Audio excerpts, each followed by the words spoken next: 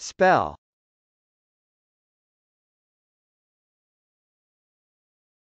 Spell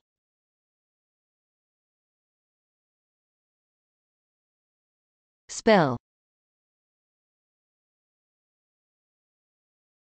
Spell can be a noun, a verb or a name.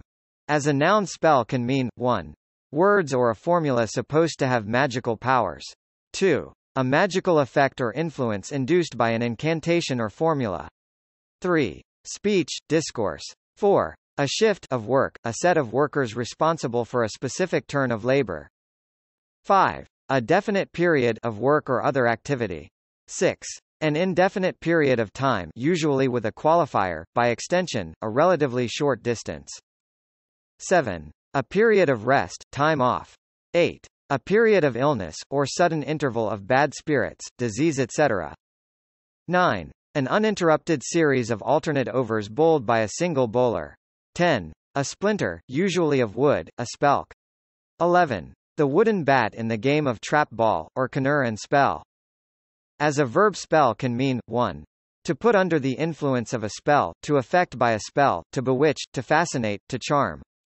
2. To read something as though letter by letter, to peruse slowly or with effort. 3. To write or say the letters that form a word or part of a word. 4. To be able to write or say the letters that form words. 5. Of letters, to compose a word. 6. To clarify, to explain in detail. 7. To indicate that some event will occur. 8. To constitute, to measure. 9. To speak, to declaim.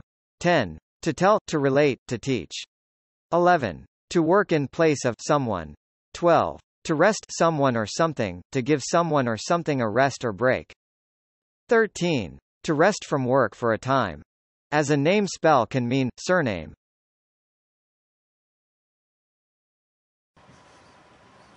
These are easy to spell out.